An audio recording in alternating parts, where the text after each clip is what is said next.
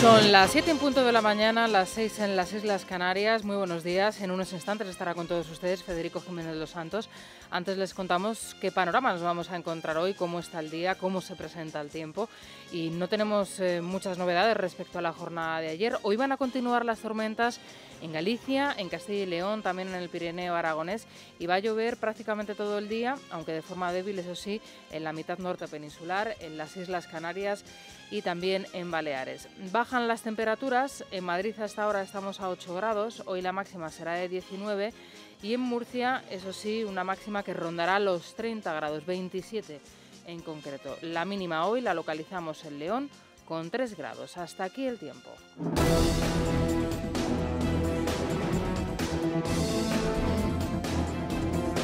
Bien, vamos ya con las noticias del Santander en esta segunda hora de la mañana en Es Radio, como siempre con Rosana Laviada y Miguel Ángel Pérez. Hay bastantes eh, noticias, muchas de ellas tienen eh, como referente la cuestión nacional española, porque lo que hay en Cataluña es un problema de España, o sea, no es un problema de los catalanes, de la mitad de los catalanes que tienen que padecer la dictadura separatista, por supuesto, pero del conjunto de España, porque el momento que eso se rompa se va a romper todo lo demás. ¿Por qué? Bueno, porque no es un problema, repito, de Cataluña o del País Vasco, es un problema de España, de que desde la transición tenemos unos gobiernos que han hecho dejación de sus obligaciones para defender algo esencial en una nación política, que es la igualdad de los ciudadanos ante la ley. El día en que se admitió que la lengua era una herramienta de discriminación, que llamaban los nacionalistas de construcción nacional, ese día eh, nos cargamos el invento. Porque o somos todos iguales ante la ley o no lo somos. De ahí que la noticia más llamativa hoy eh, sea aparentemente absurda. O sea, que el jefe del Estado les diga a los jueces que hagan cumplir la ley, dirían, claro, no va a decirles que roben bancos, bueno, pero es que lo dijo en Barcelona. Lo dijo delante de Artur Mas, del cabecilla separatista que con dinero de todos los españoles está creando ese Estado, esa dictadura separatista y separadora catalana, que no acabará ahí. Los sociatas de medio pelo intelectual que creen que inventándose un federalismo a la violeta, que por otra parte no se puede concretar, porque tú no puedes hacer a la, gente a la vez igual y desigual, eso ya lo tenemos en la práctica, pero la teoría es imposible. O somos todos iguales ante la ley, eh, federal, confederal, unitario, regional, o como quieras, o somos desiguales.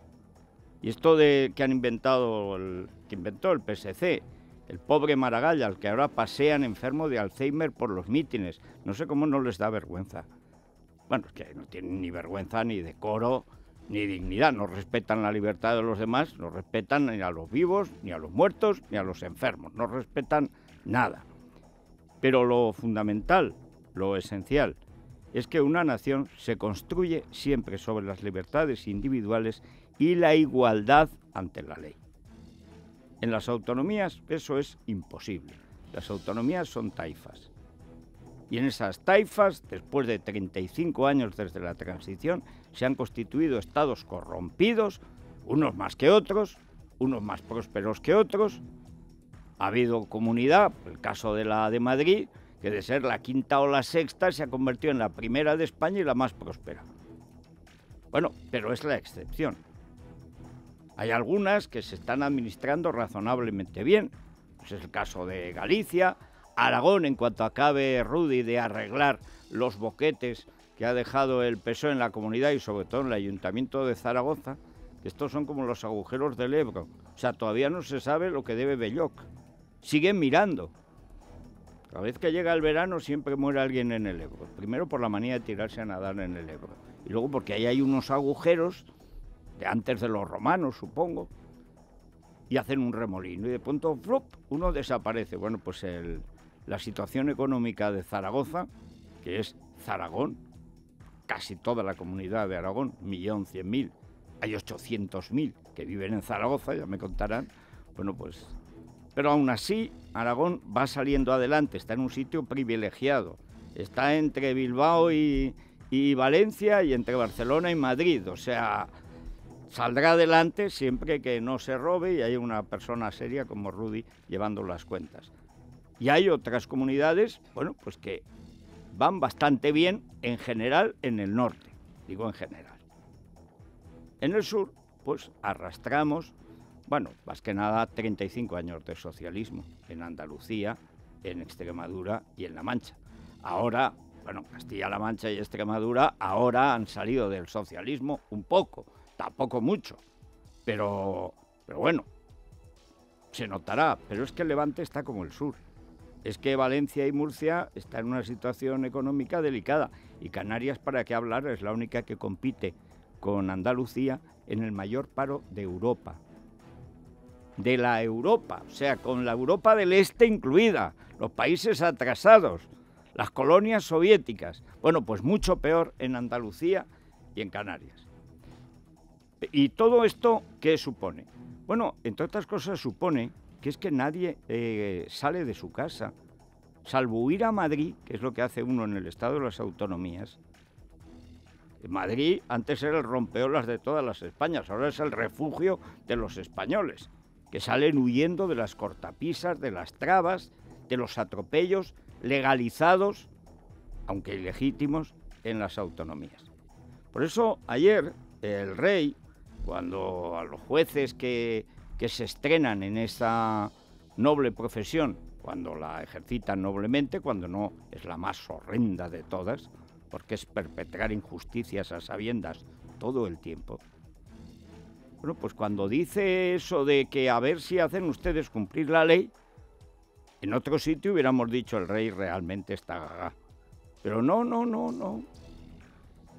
Hoy lo verán en los medios de papel, los que van quedando. Dice, bueno, es que el rey dice ante más que los jueces cumplan la ley. Dice, bueno, ¿y qué va a decir el rey? Pero al mismo tiempo, en Barcelona, una balaunda, una punta, un hato, una jarca, una pandilla, una vez eh, pues eh, rodeaban el coche del ministro Montoro y lo apedreaban.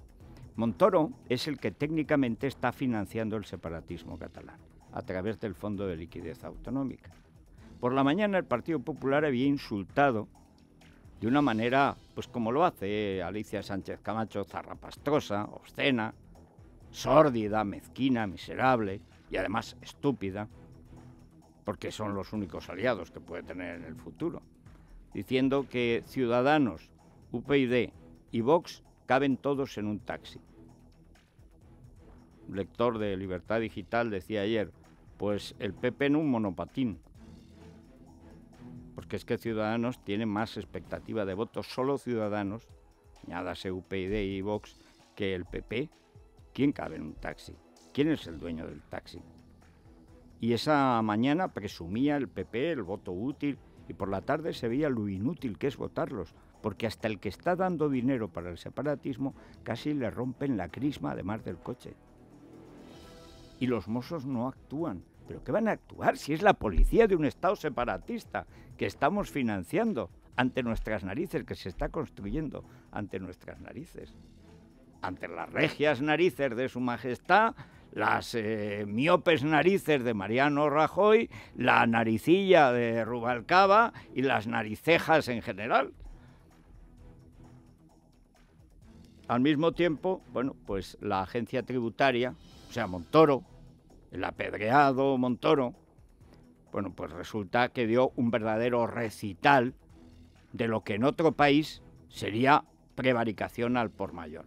En el caso Urdangarín, en el que al final, porque este gobierno es incapaz de cumplir con su obligación, con lo que juró, que es guardar y hacer guardar la Constitución, las leyes, y repito, todos iguales ante la ley, pues han inventado una doctrina cretinoide para bobos, como si todos nos chupáramos el dedo.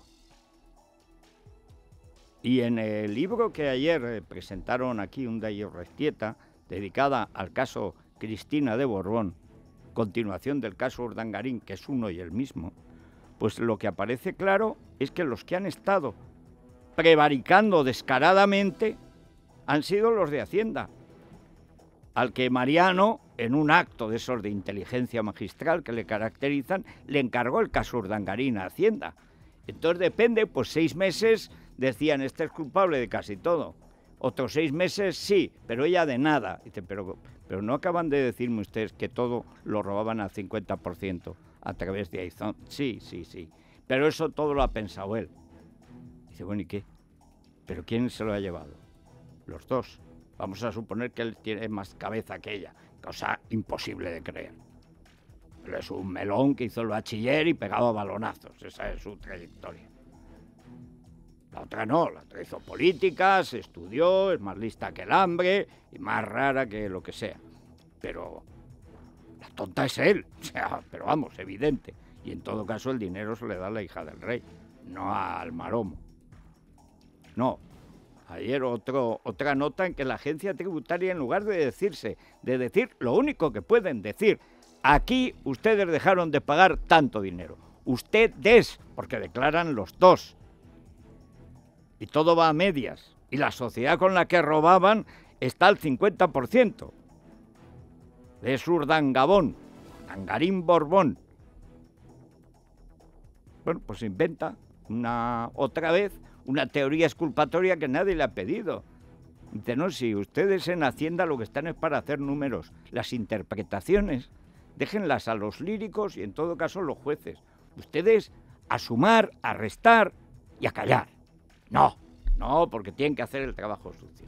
Total, que mientras el rey cosía por la mañana, por la tarde descosían en Hacienda para la zarzuela.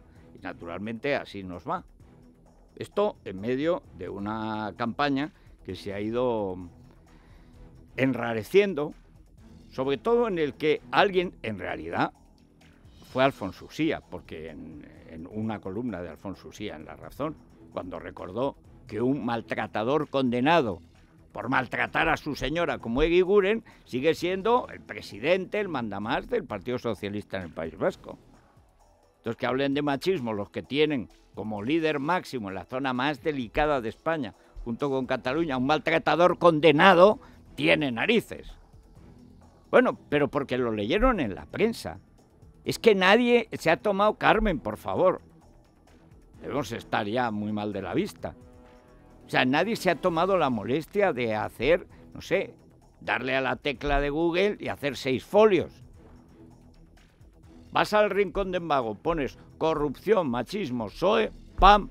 Y te sale ahí un, vamos, es Urdangarín, le hubiera sacado un millón de euros. En fin, empecemos por la parte buena, digamos, el rey haciendo lo que tiene que hacer. O sea, menos inaugurar Mercedes, no por Mercedes, que es un gran coche. Es que Mercedes es el que patrocina los premios Laureus, donde trabaja Corina Sainz o Zu Seid Wittgenstein. Corina Larsen, vamos, la entrañable del rey.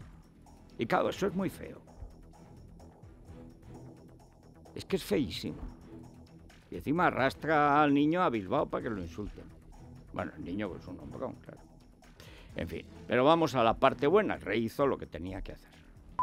El 19 de mayo arranca un evento único en nuestro país, la Feria de Mercado Laboral Virtual, creada por la comunidad laboral trabajando.com, Universia y patrocinada por Banco Santander. Entérate de todas las oportunidades de forma fácil y sin barreras en feriamercadolaboral.trabajando.es.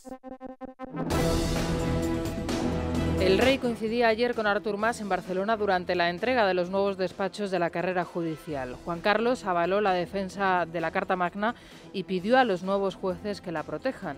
El rey y Mas hacía 20 meses que no coincidían en el mismo acto. El de ayer se producía al tiempo que Hacienda confirmaba el delito fiscal de Urdangarín y cuando la Casa Real estrenaba su cuenta en Twitter arroba Casa Real. Os animo a abordar vuestra profesión con la dignidad, la equidad y la vocación de servicio que le corresponden, teniendo presente en todo momento los principios, valores y derechos que la Constitución consagra y protege. En esa labor sabéis que siempre podréis contar con el invariable apoyo de la Corona.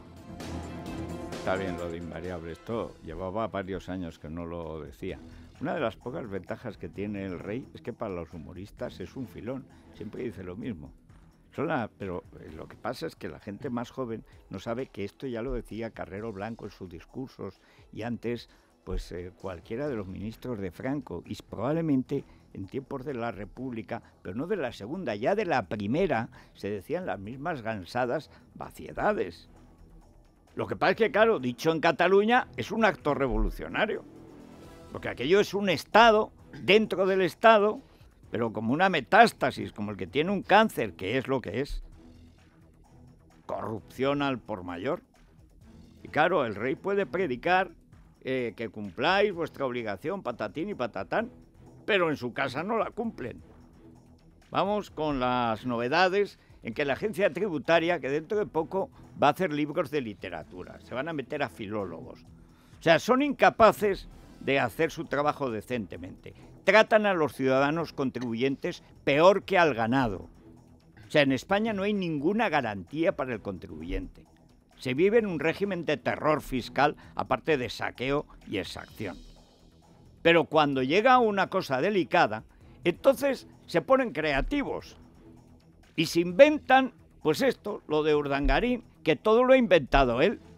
Pues este no ha podido inventar ni el cuadrado cuadrado se pone a hacer un cuadrado y le sale redondo. Pero si, léanse el libro, el de La Intocable. si es que no sabe leer ni escribir, si es que no sabe redactar. Pero si empieza con un verbo y termina por otro distinto y no sabe lo que es singular, plural y tal, balonazos los pegaba bien. Y baguetazos ni les cuento. Pero vamos, ahí se acababa el talento de esta criatura. Bueno, ahora va a resultar que es un ingeniero fiscal. La agencia tributaria atribuye única y exclusivamente a Iñaki Urdangarín los dos delitos fiscales cometidos a través de la empresa Izón en los ejercicios de 2007 y 2008, a pesar de que la sociedad era compartida con su mujer al 50%, la infanta Cristina, Hacienda exonera a la hija menor del rey. Queda claro que estamos ante un artificio defraudatorio ideado por el señor Urdangarín, concluye el informe que ya está en manos del juez Castro. El documento habla de un engaño en dos elementos decisivos, la descripción de los servicios facturados y la utilización de una sociedad interpuesta con objeto de eludir la tributación progresiva. Mario Pascual Vives, abogado de Urdangarín, era preguntado por este informe y decía desconocer su existencia. A las 9... A ver qué hora es. 9 y 20 no tengo ni idea de ese informe. Pues ayer ya se conoció, no ha tenido la posibilidad de leerlo. No, porque no me lo han notificado. Se lo tienen que notificar hoy. Hombre, cuando decida su señoría, pero veo que ustedes lo tienen, no sabía que estaban comparecidos en el procedimiento. ¿Sigue manteniendo que Iñaki Urdangarín no ha cometido estos dos supuestos delitos fiscales? Sí. No sabían que estaban comparecidos, eran personados.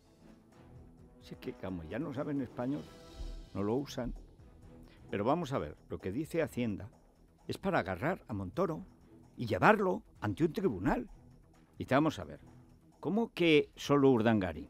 Aquí lo que usted me dice textualmente, textualmente, es que hay un engaño con dos elementos. Es decir, una estafa, un fraude, un delito fiscal. Primero, los, los servicios facturados, descripción, que eran mentira. Cobraban por nada. En Madrid, Gallardón les entregó 144.000 euros a cambio de nada, ni un folio. Y se pusieron a hacer dos folios cuando estaba ya el juez instruyendo el asunto. Cuando les preguntó ¿Dónde están los documentos? Documentos. Documentos, decía Cogen. Documentos, eh, documentos, documentos, claro, documentos. Eh, eh, documentos. Sí, sí, vamos a buscarlos. No, no, que no los busque, que me los dé. No, que estamos buscándolos. Ni documentos ni nada. Se lo puso en el bolsillo Gallardón, que no ha sido ni para ir de testigo. Pero el segundo, bueno, los servicios por lo tanto eran ficticios, simplemente trincaban.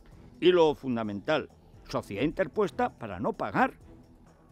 Pero vamos a ver, ¿de quién es esa sociedad? ¿Quiénes son las personas físicas que no han pagado? Cristina y e Iñaki, Iñaki y Cristina. Pero ¿cómo que él ideó? A mí me da igual quién idea el asalto a un banco. ¿Quiénes asaltan a un banco? Pues hay tres tíos con tres eh, escopetas y uno que les espera en el coche. Eh, quien lo idea es igual. Lo perpetran los cuatro, sobre todo los tres que disparan, sobre todo si se cargan a un guardia. ¿Visto qué quiere decir? Nada, que están tratando de encubrir a una delincuente. Bueno, Montoro, que repito, es el que a través del Fondo de Liquidez Autonómica está financiando el separatismo catalán, ayer era maltratado de esta brutal forma.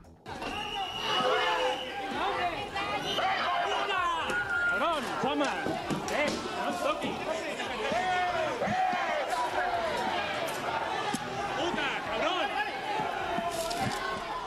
pasa por darles dinero. Eh, pero además no hizo nada la Policía Autonómica de Cataluña. bueno, ¿cuándo ha hecho algo por España? Lo único que han hecho es cantarle que viva España a Artur Mas por tocarle las narices. Además ahí, te pongas español, te echan normal. Explicación. Sí, Ramón Espadaler, el consejero de Interior de la Generalidad, ha condenado el ataque al ministro de Hacienda y a la responsable del Partido Popular en Cataluña, Alicia Sánchez Camacho. También ha comunicado al Ministerio del Interior que abre una investigación para conocer si el dispositivo de seguridad de los Mossos era el adecuado. Mientras tanto, la campaña continúa y precisamente ayer el PP catalán emitía un vídeo cuestionando la validez de los votos a las formaciones minoritarias. Los candidatos de partidos pequeños están aislados divididos, son incapaces de formar equipos. Por eso son incapaces de defender tus intereses, incapaces de frenar a los que quieren romper Cataluña, romper España y sacarnos de Europa. Bueno, aquí lo fundamental del asunto es que allí, pero hombre, si no pueden dar conferencias en la universidad, pero si hace 20 años que esto sucede, pero si cuando Vidal Cuadras que estaba al frente del PP catalán, le tiraban huevos. Y con esa voz suya inimitable, pero tan imitada, pues un día decía, estoy muy orgulloso de esta condecoración que me han puesto estos energúmenos. Y lleva un huevo chorreando por la solapa. Sentido del humor que, claro, Alicia Sánchez Camacho no tiene. Pero dice Alicia Sánchez Camacho, y es verdad, han dejado que, le que apedren al ministro de Hacienda, naturalmente. ¿Y por qué no suspendéis una autonomía donde se deja que apedreen al ministro de Hacienda? Ah, que queréis pactar con ellos. Ah. O sea, asquerosos los pequeños, ¿no? Basura, que no hay que votarlos, que eso es tirar el voto. Ahora resulta que votar es tirar el voto. Según estos nuevos teóricos. Pero luego son incapaces de defenderse a sí mismos, no ya al orden público. Y se quejan de los mozos. No, hombre, no. Quejaos de vosotros mismos que sois los limpiabotas de convergencia en cuanto se deja. En fin, no sé yo cómo andará de puntos Alicia. No lo sé, pero lo puede consultar fácilmente. Yo no sé por qué pienso que es un poco alocada conduciendo. Nunca se sabe, las, las mujeres de la Camarga somos muy prudentes. Yo no generalizaría. Bueno, en línea directa nos dan la posibilidad de obtener un premio si tenemos esos 15 puntos del carnet de conducir y además lo tenemos muy fácil. Podemos entrar en consultatuspuntos.com, comprobamos si tenemos esos 15 puntos, si es así llevamos a línea directa y ya tenemos mm, el mayor descuento que nos van a hacer en nuestro seguro de coche o de moto. Llama ya al 902 123 536 902 123 536, línea directa, una compañía Bankinter.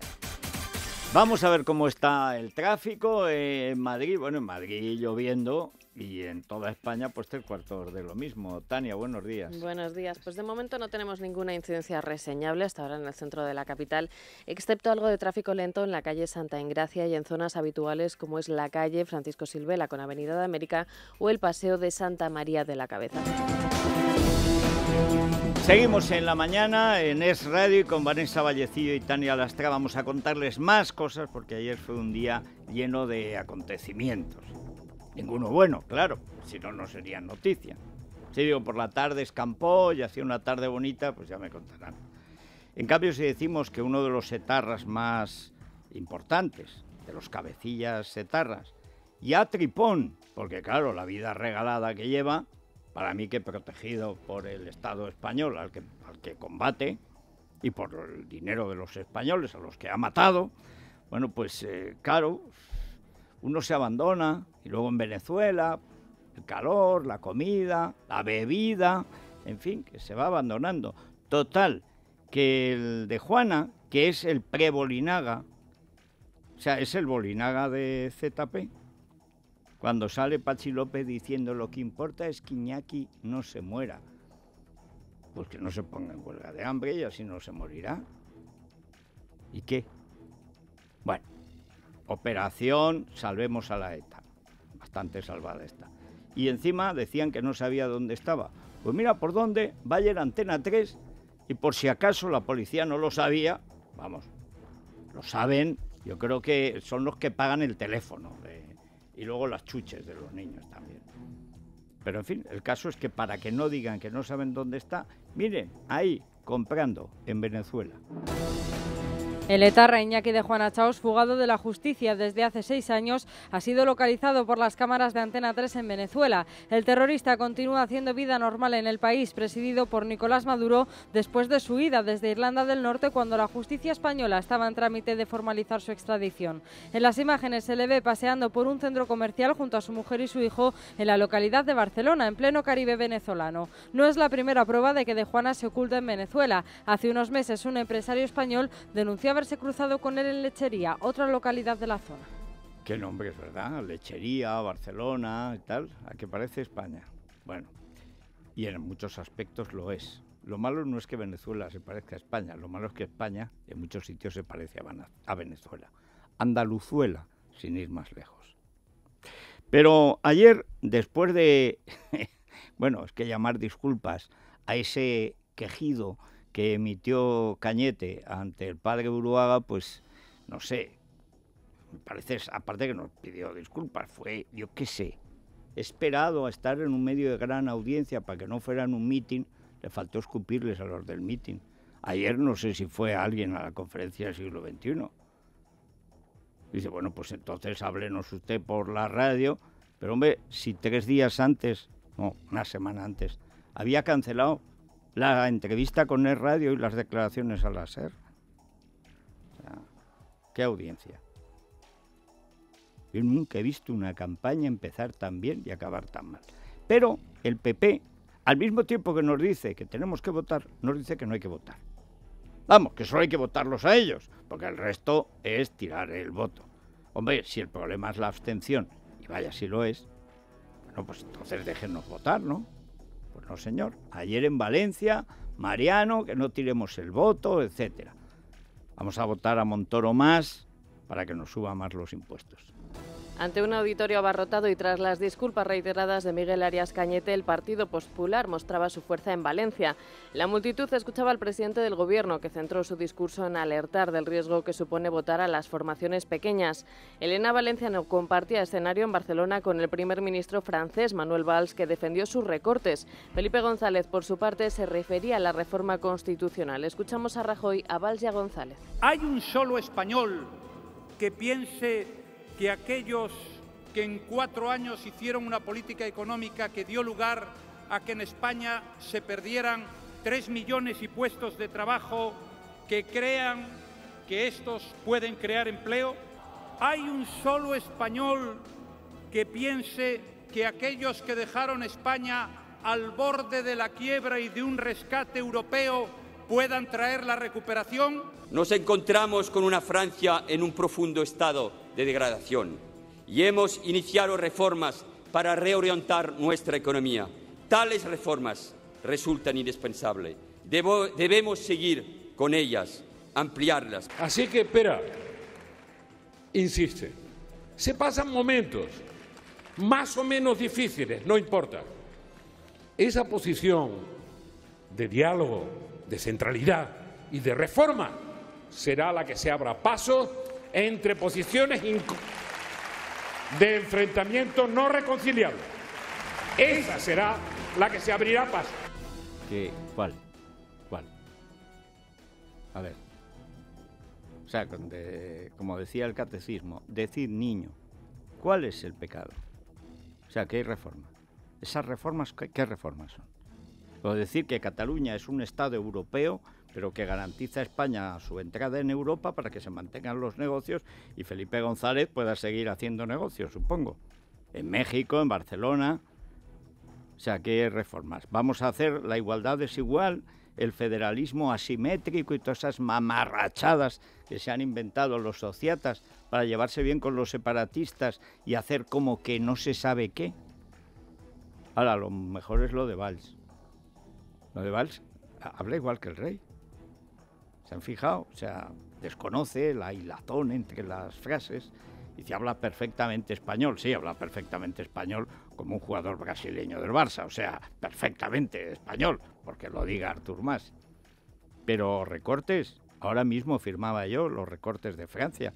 Ha dejado las regiones en menos de la mitad. Esto nada más llegar al gobierno.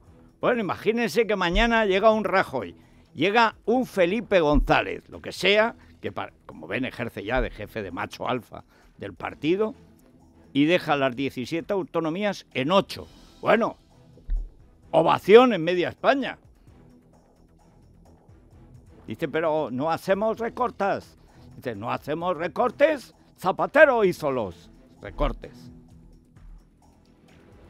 Pero ¿qué saber? Pues si viene 10 minutos, les dan un papel, pues lo que haya que hacer.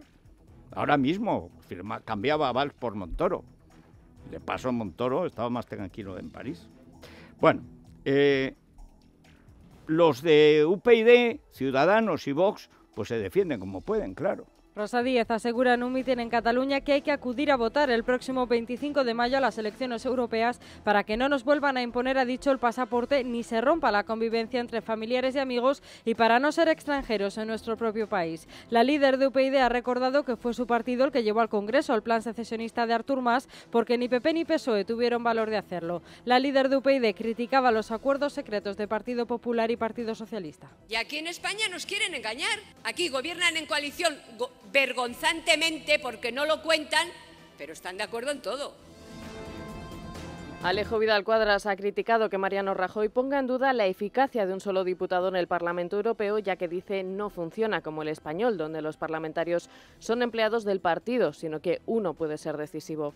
Junto a Ortega Lara, en el acto de cierre de campaña en Salamanca, el líder de Vox ha querido desmentir así las últimas manifestaciones del Partido Popular que hablan de desperdiciar el voto con los partidos minoritarios. Vox ha dicho se integrará en el Grupo Parlamentario Popular Europeo, lo que le dará mayor capacidad de actuación. El presidente del Gobierno no sé si por ignorancia o por mala fe, demuestra que no tiene ni idea de cómo funciona el Parlamento Europeo. Está acostumbrado a la política española, en la que su partido y el PSOE han construido un sistema en el que los diputados en el Congreso son ovejas de un rebaño que se mueven a toque de silbato del portavoz. Bueno, el único problema que tiene Alejo es que ha formado parte de ese lanudo rebaño durante mucho tiempo. Es un problema que también lo tiene Rosa Díez. Tantos años en el PSOE, pues... Pero al mismo tiempo, la política se hace con políticos. ¿Y dónde están los políticos en la política? O sea, estamos, en fin, en un problema de difícil solución. Bueno, ¿qué pasa con los, eh, con los 200 y pico cadáveres de la Complutense? Tres días y medio después ha aparecido el rector Carrillo. Estaría en Rumanía, como su augusto papá, donde vivía holgadamente protegido por el dictador Ceausescu. Tal vez por eso la morgue de anatomía parecía la morgue de Timisoara cuando fusilaron a Ceausescu y Elena, que por cierto grababan a todos los visitantes regios, especialmente los españoles. En fin, ahora ahora, tres, cuatro días después, va a destituido a alguien. La Complutense ha destituido al director del Departamento de Anatomía por el escándalo de los cadáveres apilados en el sótano. El rector José Carrillo reconoce errores después de haber calificado de falsas las informaciones que destaparon el mundo y libertad digital. En la cadena SER, el rector achacaba el hacinamiento de cadáveres durante estos últimos cinco años a una avería en el horno. Lo que ha pasado es simplemente que ha habido un retraso en el funcionamiento del horno este acento francés que conservamos es de la cara dura que tenemos. O sea, cinco años averiado el horno y no has podido arreglarlo. ¿Qué pasa? Que cobraban unos y a lo mejor repartirían. Porque ¿qué se cobra por alquilar los cadáveres? Dice, no los vendemos. Vale, leasing, alquiler con derecho a compra, ¿no? Pero los familiares lo sabían. ¿Sabían que se percibía dinero por eso? No, padre. Bueno, dicho en un carrillo, lo retiro. En fin. Cinco años. Dice, no, es que lleva cinco años estropeado. Lo que lleva más años estropeada es la universidad, que tiene gente así al frente de la Complutense. Se levanta la cabeza a Cisneros y con el báculo le atiza a Carrillo y a todo el claustro. En fin, hasta aquí algunos de los desperfectos del día. Vamos a la prensa económica, como siempre, con la casa. Hoy es un gran día para estrenar coche, poner en marcha un nuevo proyecto o empezar unas reformas. Con el nuevo Crédito Hoy de la Caixa, puedes disponer hasta el 31 de julio de un préstamo de hasta 40.000 euros. Consulta las condiciones en tu oficina o en lacaixa.es. La Caixa, tú eres la estrella. Luis Fernando Quintero, buenos días. Muy buenos días, Federico. A ver, noticias que te llamen la atención en la prensa económica. Bueno, pues eh, hablabas hace un momento, hace un minuto de recortes y hablabas de los recortes de Valls en Francia. Pues mira, aquí vienen dos pinceladas de lo que sucede en España. El gobierno se compromete a cubrir las plazas de los funcionarios que se jubilen. Sabes que una de las partes del sector público, del recorte en el sector público, era dejar de hacer esas eh, sí, los reposiciones, sí. de eh, funcionario que se jubila, enseguida se pone la plaza a disposición para que... Eh, para, ahorrarse el sueldo. Eso es. Bueno, pues eh, esto que se había dejado de hacer para hacer una reducción en el personal público de una manera un, tanto natural, ¿no? Se jubila alguien, pues ya no se repone muriendo, jubilando, aburriendo, deprimiendo. te vas, pues ya no entra nadie. Bueno, pues eh, esto ya se ha terminado y lo que está estudiando para aprobar eh, en cuanto pueda el gobierno es elevar las tasas de reposición en 2015 para dejar de amortizar las plazas vacantes que dejan los funcionarios jubilados. Es decir, chicos, en el sector a partir público de ahora se vuelve a contratar. Eso es. Brillante. O sea, en cuanto, aún no hemos empezado, aún no asamos y ya pringamos. aún no hemos empezado a crecer y ya empezamos a derrochar. Bueno, y pringar, pringar bien. En cinco días, empujón al AVE, Fomento invertirá 4.600 millones hasta el final de la legislatura. ¿Y ahora dónde vamos en AVE? A Murcia, Granada, Burgos, Santander y Salamanca. Pues muy bien, muy bien. Mira aquí, Vicente Aspitarte, claro, como eres de Grana, pues está, estarás contento, Vicente, lo has conseguido. Ya estamos Esto es por el empuje de tiempo extra, sí, se nota, porque antes era imposible. No, no, no, no, se sí, nota. Sí. Bueno, en el editorial Cinco Días, muy contento, vuelve la inversión pública y dice que pese a que habrá tintes electoralistas, porque las inauguraciones de los no, nuevos alguien tramos podrá pensarlo, sí, alguno. llegarán curiosamente antes justo de las elecciones, eh, próximas elecciones autonómicas, dice Cinco Días que debe agradecerse el giro a la inversión pública en España. Ya está contento Cinco Días. Pero no estaba a favor de la austeridad, anteayer. Es, es que hoy es Hoy jueves. está a favor de... o sea, claro, Hoy es es verdad. jueves. Es que el jueves. Era el miércoles cuando estaba a favor. de- Además, es que no falla. Son los días pares, es- está liberal. Bueno, Sí, liberal. Está mezquin- mezquino, digamos. Y los días impares, o sea, es que no falla, ¿eh? Es que le debe gustar los días pares esto que decía el gobierno. O sea, de- él arranca el lunes sombrío, ¿no? Como dice austeridad, recortes. No puede ser, no puede estar deuda brutal. El martes se anima. Hay que ayudar a la inversión. Eh, hay que ayudar. El consumo tiene que moverse y tal. El miércoles recapacita. No se puede tener la deuda del 100% del PIB. No, no. El jueves se alegra. Hombre. Eh, claro, dice, venga, hombre, aunque sean elecciones, mejor. eh, Vengan tal". aves y vuelan- Claro, vengan aves y vuelen golondrinas y vencejos. vale, vale. Mañana se arrepentirá. Veremos. Bueno, mañana estamos en la previa de la Champions. Yo no sé si los eh, No sé yo. si los humores deportivos eh, entrarán en cinco días. En esto el doctor Azpitarte es el que nos va a ilustrar sobre la teoría de los humores deportivos. Ay, señor. Eh, me tiene preocupado, ¿eh? Bueno. Me tiene preocupado el Real Madrid, porque yo no sé los que están enfermos y sanos. Esto ya parecen las almas muertas de Gogol. Es una O sea, final de la Champions, Federico. Yo Pero, hombre, la ganamos con mis. Mijatovic, de los cuales medio equipo era mediocre, por decirlo suavemente, Sí. pues porque no se va... Claro que Eh. está el Atlético con- para ganarle, en fin. Hay que hacerlo, hay Sí, que sí. hacerlo y lo haremos. Pero no me gusta lo de la enfermería. Vamos a ver lo que dice el doctor Azpitarte. Hoy es un gran día para estrenar coche, poner en marcha un nuevo proyecto o empezar unas reformas. Con el nuevo Crédito Hoy de la Caixa, puedes disponer hasta el 31 de julio de un préstamo de hasta 40.000 euros. Consulta las condiciones en tu oficina o en lacaixa.es. La Caixa, tú eres la estrella. Vicente Azpitarte, buenos días. Buenos días, Enhorabuena por ese ave eh, a Granada que ya tocaba. Ya falta ¿verdad? menos, ya queda, que no falte de nada. ¿eh? Fíjate, así va a poder ir el rey a encontrarse con quien se encuentre en esos cármenes maravillosos, y no me refiero al estadio. No, no, no, no, a los de verdad. Eh, a los de verdad. son. Sí, qué frío hace en invierno, por Uy, cierto. Sí, sí, sí. sí. Monteruel, yo ahí me siento como en casa. Llega en invierno y hace un frío que pela, llega verano y hace un calor. Digo, mira, bien. Sí, aunque bien. está el mito de que por la noche refresca. Bueno, le llaman refrescar a helar. Pero en fin, no, yo, pero, pero nos entendemos. Bueno, cuéntame cómo Vamos con la está enfermería, la enfermería del Madrid. Bueno, ver, Cristiano va a llegar. Real Madrid. Sí, Cristiano va a llegar, está intensificando el trabajo. Karim Benzema se va a probar mañana en Lisboa. Hay que contar a los oyentes que el Real Madrid viaja ya esta tarde, a partir de las 7 vuela el Real Madrid. sitio. Ha pedido el Real Madrid la misma, el- la misma tripulación que en el vuelo a Múnich. O sea, van a tratar de repetir todos los Todo. movimientos. Lo único que, que sepan que van a Lisboa, que no terminen en Múnich, a ver si se van a equivocar. Bueno, eh, nos fue bastante fácil lo de Múnich. Hombre, si el Atlético Pongan fuera a como el Guardiola el sábado, ¿no? Exactamente. Es la la, clave. sería cambiar a Simeone por Guardiola. Bueno, pues Benzema se va a probar mañana en Andaluz a ver si está en disponibilidad para jugar el sábado. La mala noticia. Pepe yo creo que no va a llegar, ¿eh? Bueno, eso no es tan mala noticia. Después de ver a Barán el domingo pasado, el sábado, perdón, En la ante el en la español. pachanga frente al sí, sí, pachanga, pero llegó a todos los balones. Por primera vez eh, fue el Barán de la temporada pasada.